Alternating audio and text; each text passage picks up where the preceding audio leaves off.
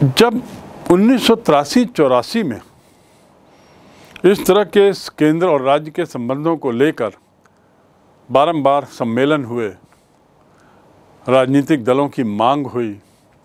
ये बात दूसरी है कि कल तक वे राजनीतिक दल सत्ता में थे तो उनकी सोच कुछ और थी और विपक्ष में होते हुए ही वे दूसरा राग गाने लगे। ये स्थिति लगभग सभी पार्टियों की रही है, चाहे वे राष्ट्रीय स्तर की पार्टियाँ कांग्रेस, भारतीय जनता पार्टी हों या क्षेत्रीय पार्टियाँ हों। जहाँ सत्ता बनाम विपक्ष के रहते, पार्टियों ने अपनी सोच, अपना पैंतरा बदला, अपने स्वहित के लिए। पर तथ्य तो था कि सेंटर स्टेट रिलेशंस को और मधुर बनाने की ज़रूरत थी, बेहतर बनाने की ज़रूरत थी। और उसमें करों के वितरण को लेकर और केंद्रीकरण को लेकर जो मुद्दे बार बार उठ रहे थे, उस पर पुनरीक्षण की ज़रूरत थी। इस बढ़ती हुई मांग और दबाव के मद्देनज़र ऐसी स्थिति हुई कि अंततः उन्नीस सौ तिरासी में ही एक कमीशन, एक आयोग बनाया गया। इस आयोग के अध्यक्ष थे भूतपूर्व न्यायाधीश श्री आर एस सरकारिया। संघ और राज्य सरकारों के बीच जो अनेक प्रश्न उठ रहे थे, इनको लेकर जो विवादित स्थिति उत्पन्न हुई थी, उस पर पुनर्विचार के लिए सरकारिया कमीशन बैठाया गया। तो कमीशन की स्थापना उन्नीस सौ तिरासी, इसके अध्यक्ष मुख्य न्यायाधीश, भूतपूर्व न्यायाधीश आर एस सरकारिया, और इसका उद्देश्य था राज्य और केंद्र के मध्य अनेक प्रश्नों को लेकर उत्पन्न होते हुए विवाद और उन विवादों पर पुनर्विचार के साथ आवश्यकता बदलाव की ज़रूरत। ये जो सरकारी आयोग का गठन केंद्र सरकार ने किया, अर्थात तत्कालीन केंद्र सरकार जो कांग्रेस की थी, ये तीन सदस्यीय आयोग था और इसमें केंद्र और राज्यों के मध्य वित्तीय संबंध और राज्यों की स्वायत्तता पर संविधान की परिधि में विचार करने के लिए सुझाव देने का काम। अर्थात ये बात स्पष्ट कर दी गई सरकारिया कमीशन को कि सरकारिया कमीशन वर्तमान संविधान की परिधि में ही सुझाव देगा।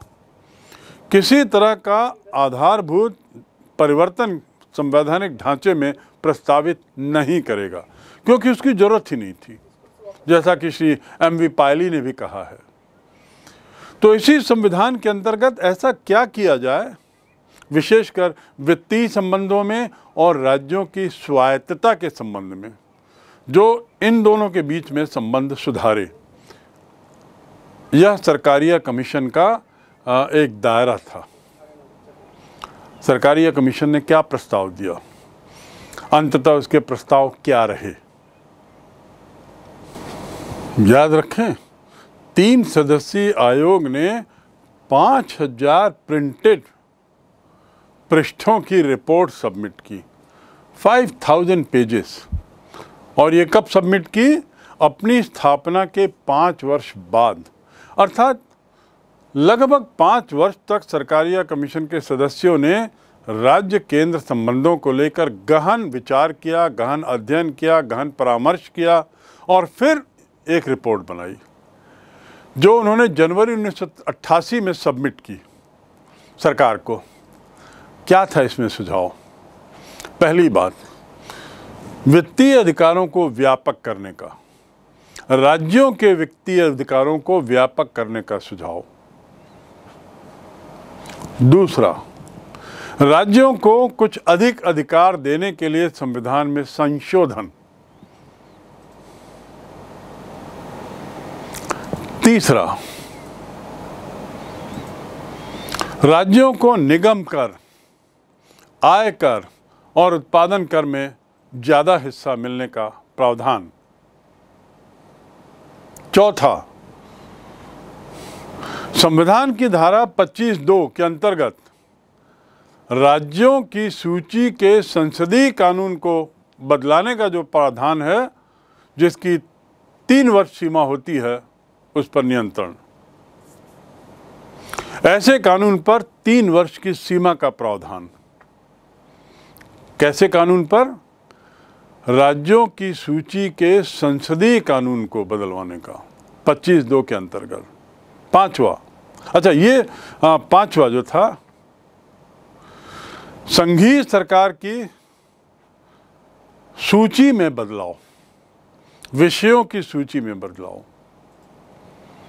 और ये जो पांचवा मुद्दा था, विषयों की सूची में, संघीय सरकार की सूची में बदलाव, उसमें मुख्य कारण बताया गया था कि कराधान अधिकारों के अंत के अलावा शेष विषय राज्य सूची में रखे जा सके।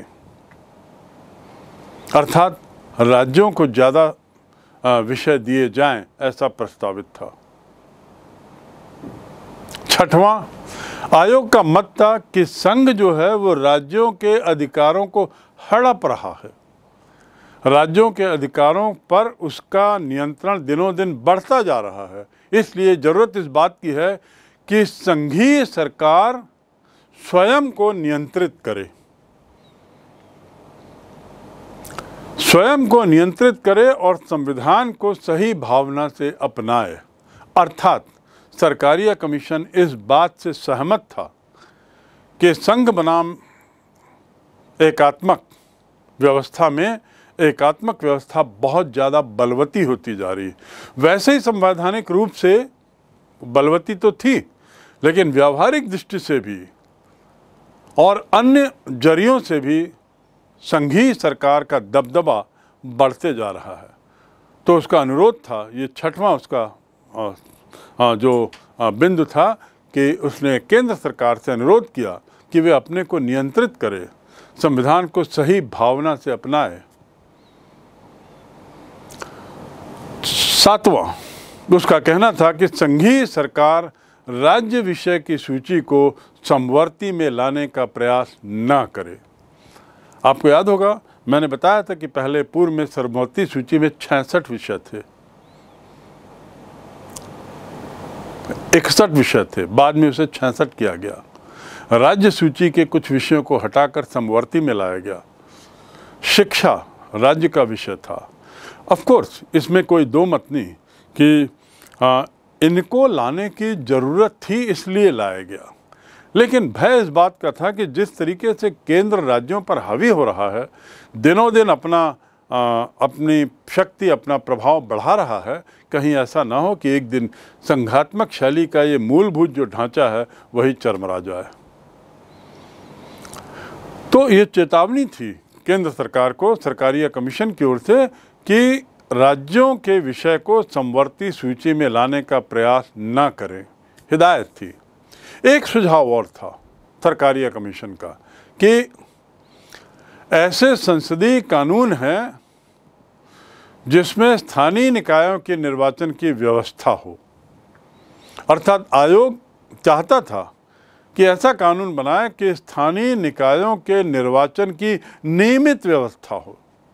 और इसलिए राज्य में पांचवा जो अनुच्छेद है, उसमें बदलाव किया जाए ताकि चुनाव जो हैं, स्थानीय निकायों के वे नियमित हो सकें। तो सरकारी आयोग का प्रतिवेदन इस प्रकार बड़ा विस्तृत था।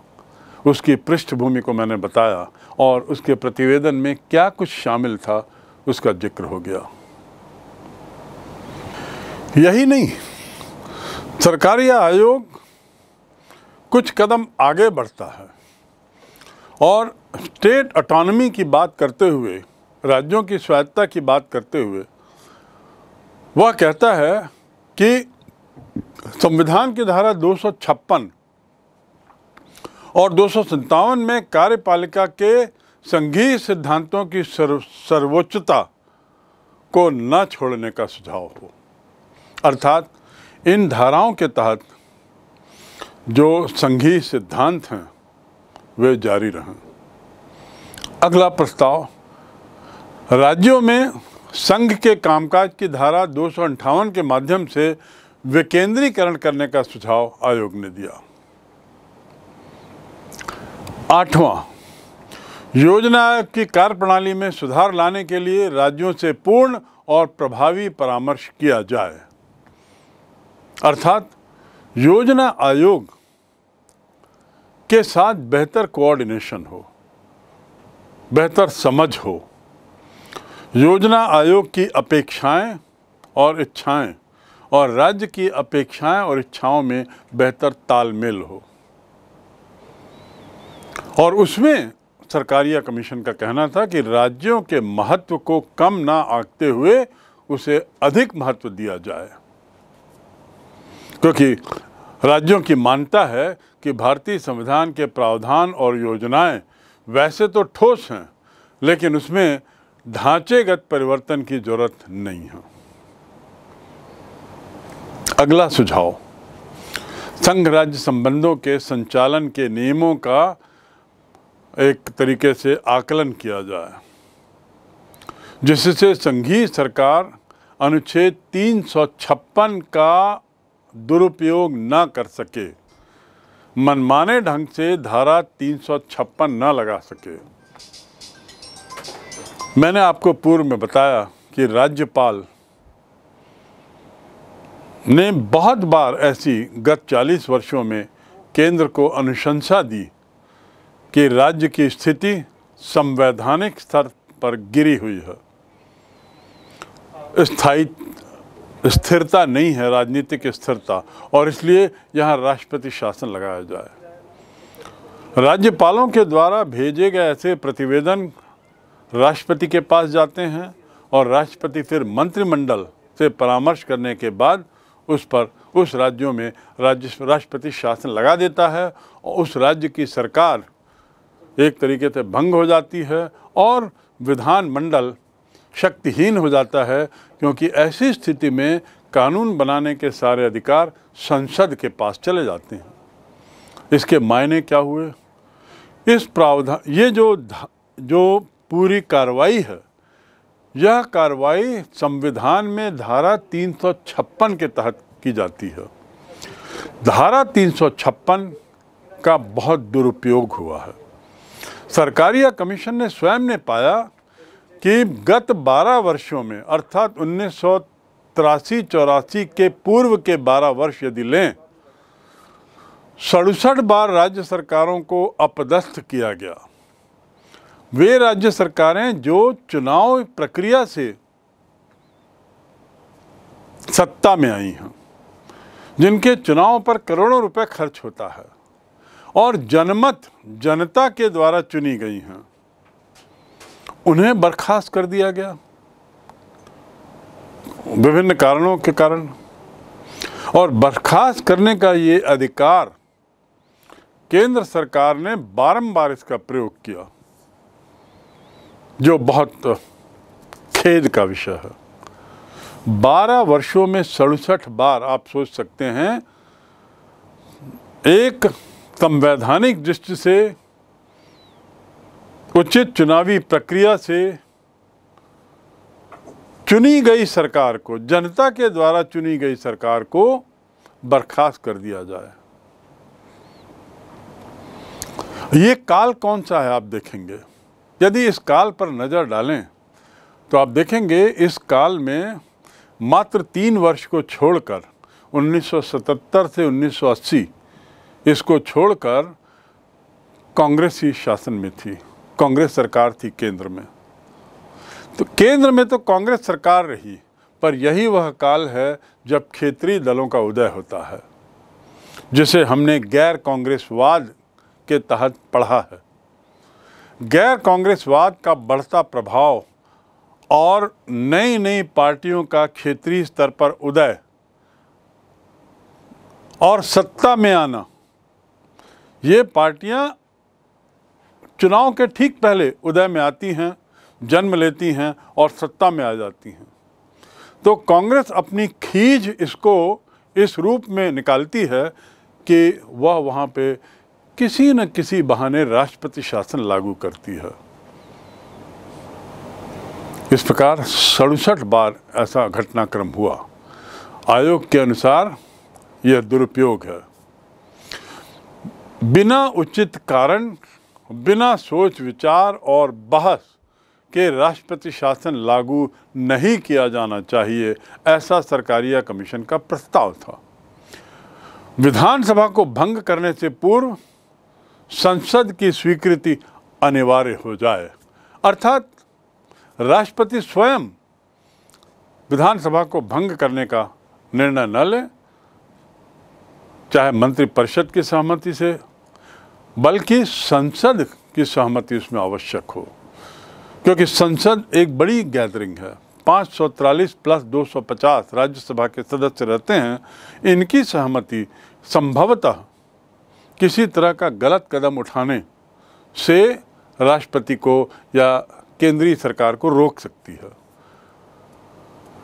यदि वो सरकार पथ भ्रष्ट है जिसे हटाने की सिफारिश राज्यपाल कर रहे हैं, किसी राज्य की सरकार को तो उससे कारण पूछा जाए। यानी सरकारी कमीशन बारंबार इस बात को चिता रहा है कि धारा 356 का जो सतत दुरुपयोग हो रहा है, उस पर लगाम लगाई जाए। और यदि ऐसा लगता है कि नहीं, ये सरकार पथ भ्रष्ट है गैर संवैधानिक तरीके से कार्य कर रही है तो उससे कारण पूछा जाए। और जब कोई चारा चारा न रहे, तभी संसदीय प्रक्रिया के माध्यम से राष्ट्रपति शासन लागू किया जाए, मात्र मंत्रिमंडल के सहमति के बल पर नहीं। पूरी संसदीय प्रक्रिया से गुजर कर राष्ट्रपति शासन लागू करें। अर्थात राष्ट्रपति शासन लागू करने की प्रक्रिया को थोड़ा और ठोस करने की ज़रूरत है, पर सरकारिया कमीशन ने जोड़ दिया। इतना ही नहीं, इससे आगे बढ़कर आयोग ने इन नियमों को संविधान में शामिल करने के लिए कहा।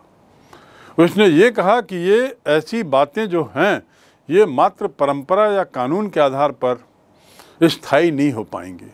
इसीलिए ज़रूरी है कि धारा 356 जैसी धाराओं का उचित उपयोग हो, लोकतंत्र के साथ किसी तरह का खिलवाड़ न हो, केंद्रीय सत्ता किसी तरीके से राज्य सरकारों पर हावी होने का प्रयास न करें गलत रूप से, इसलिए ज़रूरी है कि इन सब बातों को, जिसको हम प्रस्तावित कर रहे हैं, इन्हें संवैधानिक ढांचे में ढाला जाए, अर्थात इन्हें संविधान का हिस्सा बना दिया जाए।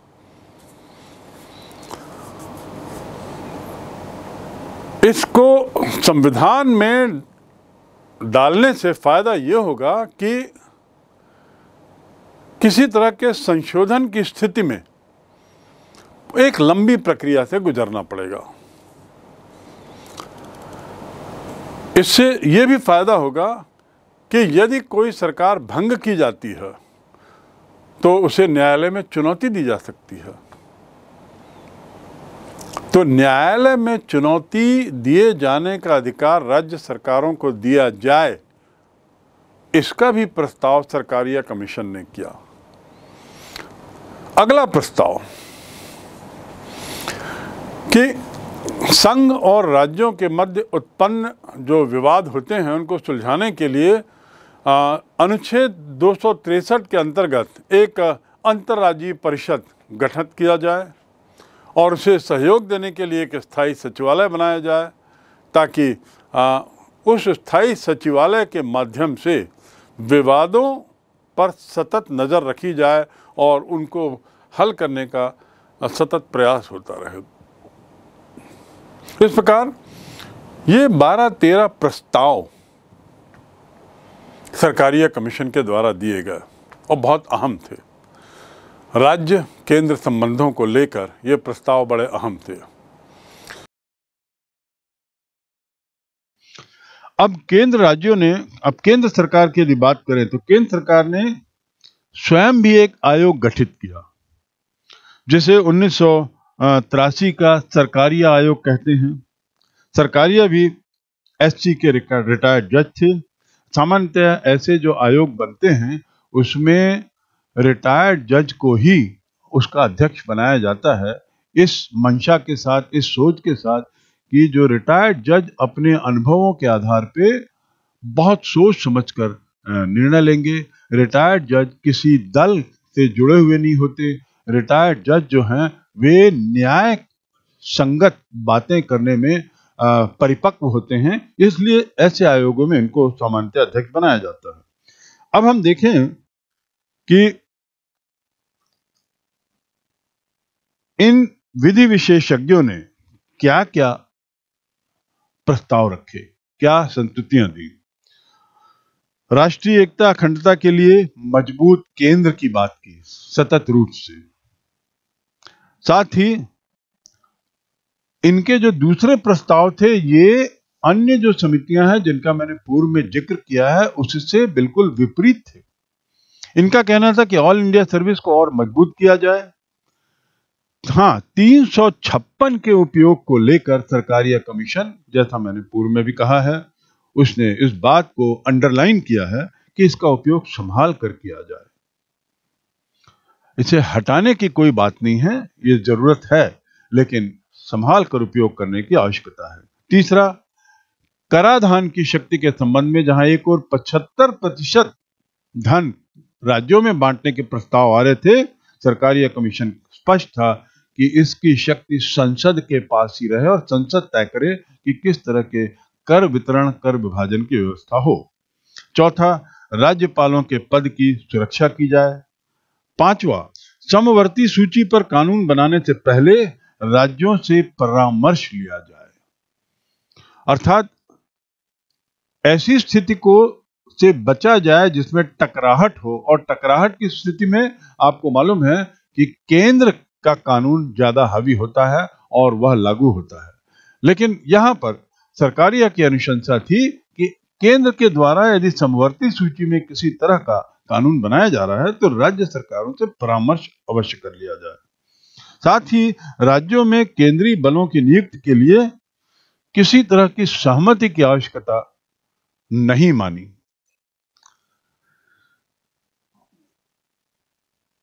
दो अनुशंसाएँ थी, जिसमें 180 अनुशंसाएँ। सरकार आयोग का जो मुख्य निष्कर्ष था, वह क्या था? वह था कि भारतीय स्थितियों में सुदृढ़ केंद्र की ज़रूरत है। इसमें कोई दो मत नहीं। और ये सुदृढ़ केंद्र केवल देश की स्वतंत्रता एकता और अखंडता को अक्षुण्ण बनाए रखने के लिए ज़रूरत नहीं, बल्कि राष्ट्रीय महत्व के जो मूल मुद्दों पर राष्ट्रीय नीति के लिए भी ज़रूरी है। राष्ट्रीय नीति में तालमेल के लिए भी ज़रूरी हो। अर्थात सरकार या कमीशन इस बात से बिल्कुल सहमत था, बल्कि पुरजोर सहमत था कि संघ मज़बूत हो। केंद्र मज़बूत हो। जिन बातों से संविधान में केंद्र की भूमिका अहम मानी गई, वे आज भी प्रासंगिक हैं और केंद्र राज्य संबंधों पर विचार करते हुए इन्हें सदैव ध्यान में रखे जाना चाहिए। निष्कर्ष ये निकला सरकारी कमीशन के प्रस्तावों का कि राज्यों को कुछ मामलों में स्वायत्तता दी जाए, राज्यों की वित्तीय समस्याओं का निराकरण किया जाए, राज्य और राज्यों के, राज्य और केंद्र के बीच के झगड़ों के लिए कुछ स्थायी व्यवस्था की जाए, उसको निपटाने के लिए आदि आदि। लेकिन इसमें कोई दो मत नहीं कि भारत में, भारत के इतिहास को देखते हुए भारत की पृष्ठभूमि को देखते हुए एकात्मक शासन का मज़बूत होना बहुत ज़रूरी है। एक और जहाँ इससे देश की स्वतंत्रता, अखंडता और एकता मज़बूत होती है, वहीं दूसरी ओर एकात्मक शासन का जो बहुत बड़ा फ़ायदा है और वह ज़रूरी भी है वह है कि एक राष्ट्रीय नीति हर मुद्दों पर बन सकती है। राष्ट्रीय नीति को लेकर बेहतर तालमेल होगा, किसी भी मुद्दे पर लेकर। जिन बातों से संविधान में केंद्र की भूमिका अहम मानी गई, वे आज भी अहम हैं, आज भी प्रासंगिक हैं और इन बिंदुओं को हमें हमेशा ध्यान में रखना चाहिए। कि भारतीय राजनीति, जिसे हम सामान्य भाषा में चलती फिरती भाषा में पॉलिटिक्स कहते हैं। पॉलिटिक्स बहुत चल रही है। सारी पार्टियाँ पॉलिटिक्स करती हैं। इसके मायने मूलतः दो विषयों से हैं, राजनीति विज्ञान के। एक विषय, चुनाव और प्रतिनिधित्व, जिसका हम अध्ययन पूर्व में कर चुके हैं। और एक विषय ये है, संघ और राज्य, उनके संबंध।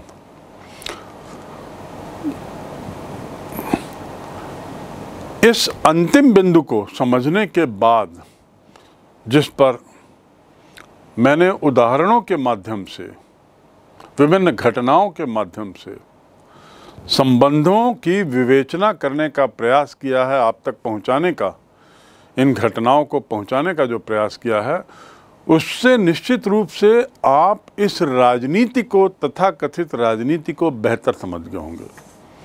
और राजनीति के मायने क्या हैं, इसे समझ गए होंगे। किस प्रकार के दांव पेच राज्यों और केंद्र के बीच खेले जाते हैं। किस प्रकार के दांव पेच चुनावी राजनीति में खेली जाती है। ये अब हम समझने में सक्षम ही नहीं, बल्कि एक तरीके से हम इसमें पूरी तरह से मास्टर हो गए हैं। और विश्वास है कि इतना समझने के बाद आप इस बात से सहमत होंगे कि भारत के संविधान निर्माताओं की दूरदर्शिता का ही परिणाम था, जो कि इतने विवादों के बाद भी